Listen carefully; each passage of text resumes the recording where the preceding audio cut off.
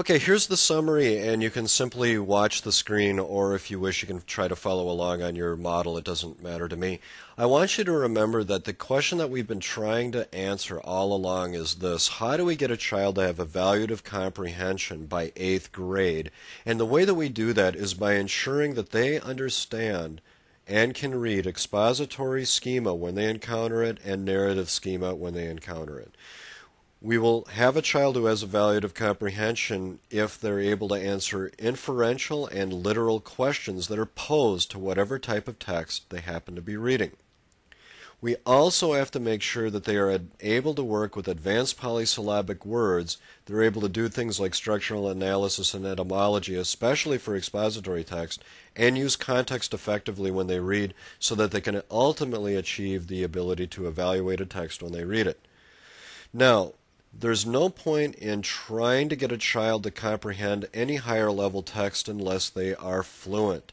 So the all important question now becomes how do we get a child to be fluent enough to be able to comprehend? Well, we do so by ensuring in third grade, by third grade, that they're able to read any simple polysyllabic words, any phonics generalizations, and any onsets and rimes when they encounter them.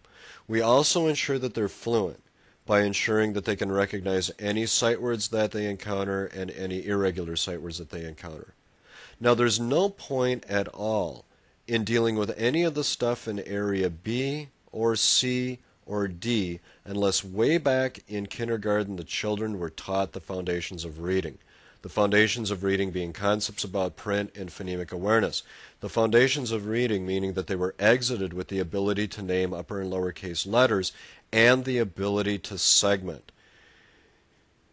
The reason that segmenting and upper and lowercase letter naming are so important is that they allow we, the teacher, to begin some letter correspondence with the student, which is then the gateway to decoding, which becomes the gateway to fluency, the gateway to upper elementary vocabulary development, and ultimately evaluative comprehension. Well, I hope that this was helpful to you. Uh, we certainly will go over more things as we progress through our lessons together and work through the workbook. But thank you very much for listening.